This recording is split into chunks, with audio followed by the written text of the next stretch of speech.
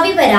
ಮಹತೋಬಾರ ಶ್ರೀ ಮಂಗಳದೇವಿ ದೇವಸ್ಥಾನದ ವರ್ಷಾವಧಿ ಜಾತ್ರಾ ಮಹೋತ್ಸವದ ಅಂಗವಾಗಿ ಸಾಂಸ್ಕೃತಿಕ ಕಾರ್ಯಕ್ರಮದ ಉದ್ಘಾಟನೆ. ಮಹತ್ವಬಾರ ಶ್ರೀ ಮಂಗಳಾದೇವಿ ದೇವಸ್ಥಾನದ ವರ್ಷಾವಧಿ ಜಾತ್ರಾ ಮಹೋತ್ಸವದ ಅಂಗವಾಗಿ ಗುರುವಾರದಂದು ಸಾಂಸ್ಕೃತಿಕ ಕಾರ್ಯಕ್ರಮ ಉದ್ಘಾಟನೆ ನೆರವೇರಿತು. ಸಭಾ ಕಾರ್ಯಕ್ರಮವನ್ನು ಪ್ರಾರ್ಥನೆಯೊಂದಿಗೆ ನೆರವೇರಿಸಲಾಯಿತು.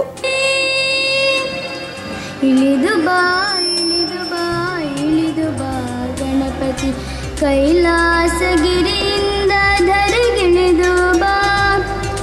ಗಣ್ಯ ಅತಿಥಿಗಳನ್ನು ಸುಧಾಕರ ಬೇಜಾವರ ಅವರು ಸ್ವಾಗತಿಸಿದರು. ಈ ಒಂದು ಸಾಂಸ್ಕೃತಿಕ ಕಾರ್ಯಕ್ರಮಗಳ ಉದ್ಘಾಟಕರಾದಂಥ ಬಳ್ಳಿ ಕಿಶನ್ ಹೆಗಡೆ ಅವರನ್ನು ಆಮಂತ್ರಿಸಿದ್ದೇವೆ.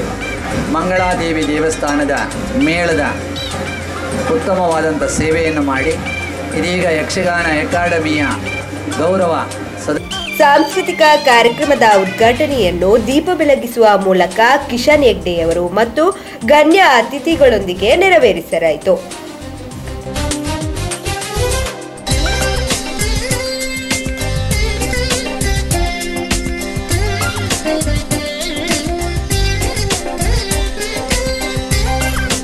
ಉದ್ಘಾಟಕರಾದ ಕಿಶನ್ ಹೆಗ್ಡೆಯವರು ಸಾಂಸ್ಕೃತಿಕ ಕಾರ್ಯಕ್ರಮವನ್ನು ಉದ್ದೇಶಿಸಿ ಮಾತನಾಡಿದರು.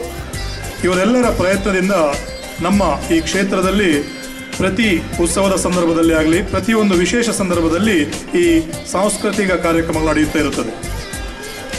ನಮ್ಮ ಸಂಸ್ಕೃತಿ ಬೆಳಗಬೇಕಾದರೆ ನಮ್ಮ ಸಂಸ್ಕಾರ ಒಳ್ಳೆಯದಿರಬೇಕಂತ ನಮ್ಮ ಸಂಸ್ಕಾರ ಒಳ್ಳೆಯದಿರಬೇಕಾದ್ರೆ ನಾವು ಹಿರಿಯರು ನಮ್ಮ ಮಕ್ಕಳನ್ನು ಒಳ್ಳೆಯ ಸಂಸ್ಕಾರವನ್ನು ಕೊಟ್ಟು ಅವರನ್ನು ಒಳ್ಳೆಯ ಸಂಸ್ಕೃತಿ ಎಡೆಗೆ ಕೊಂಡೊಯ್ಯಬೇಕಾದ್ದು ನಮ್ಮ ಕರ್ತವ್ಯ.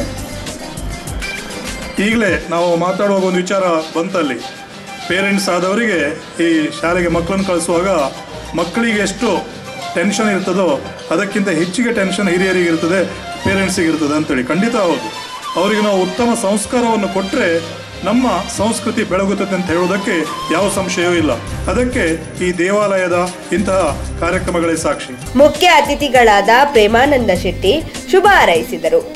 ಈ ದೇಶದ ಸಂಸ್ಕೃತಿಯನ್ನು ಉಳಿಸುವಲ್ಲಿ ವಿಶೇಷವಾಗಿ ಈ ರೀತಿಯ ಸಾಂಸ್ಕೃತಿಕ ಕಾರ್ಯಕ್ರಮಗಳನ್ನು ಮಾಡುವ ಮುಖೇನ ಈ ದೇಶದ ಸಂಸ್ಕೃತಿಯನ್ನು ಇನ್ನಷ್ಟು ಗಟ್ಟಿ ಮಾಡುವಂತಹ ಕೆಲಸ ನಿರಂತರವಾಗಿ ನಮ್ಮ ಧಾರ್ಮಿಕ ಮಂದಿರಗಳು ಮಾಡ್ತಾ ಇದೆ. ಅದೇ ರೀತಿ ಮಂಗಳಾದೇವಿ ದೇವಸ್ಥಾನವು ಕೂಡ ಇವತ್ತು ಪಿ. ರಮಾನಾಥ ಹೆಗಡೆಯವರ ಆಡಳಿತ ಮಂಡಳಿಯ ನಾಯಕತ್ವದಲ್ಲಿ ಬಹಳ ವಿಜೃಂಭಣೆಯಿಂದ ನವರಾತ್ರಿ ಉತ್ಸವದಲ್ಲಿ ಬೇರೆ ಕಾರಣಗಳಿಗೋಸ್ಕರ ಒಳಗಡೆಯ ಅಂಗಣದಲ್ಲಿ ವೇದಿಕೆಯನ್ನು ಹಾಕುವ ಮೂಲಕ ಸಾಂಸ್ಕೃತಿಕ ಕಾರ್ಯಗಳನ್ನು ಅದೇ ರೀತಿ ವರ್ಷಾವಧಿ ಜಾತ್ರೆಯ ಸಂದರ್ಭದಲ್ಲಿ ಇಲ್ಲಿ ಭವ್ಯವಾದಂಥ ಈ ವೇದಿಕೆಯನ್ನು ಹಾಕುವ ಮೂಲಕ ಸಾಂಸ್ಕೃತಿಕ ಕಾರ್ಯಕ್ರಮಗಳನ್ನು ನಡೆಸುವ ಮೂಲಕ ಸಾಕಷ್ಟು ಹೊಸ ಕಲಾವಿದರನ್ನು ಪ್ರೇರೇಪಿಸುವಂಥ ಒಂದು ಕಾರ್ಯಕ್ರಮವು ಒಳ್ಳೆಯ ರೀತಿಯ ರಮಾನಂದ ಹೆಗ್ಡೆ ಸುರೇಶ್ ಉಪಾಧ್ಯಾಯ ರಾಮಾನಾಯಕ್ ಕೋಟೆಕಾರ್ ಪ್ರೇಮಲತಾ ಎಸ್ ಕುಮಾರ್ ಉಪಸ್ಥಿತರಿದ್ದರು. ನಂತರ ಸಾಂಸ್ಕೃತಿಕ ಕಾರ್ಯಕ್ರಮ ನೆರವೇರಿತು.